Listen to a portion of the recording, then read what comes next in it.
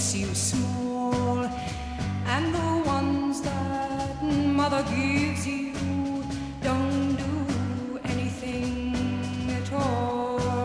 Go ask Alice when she's ten feet tall.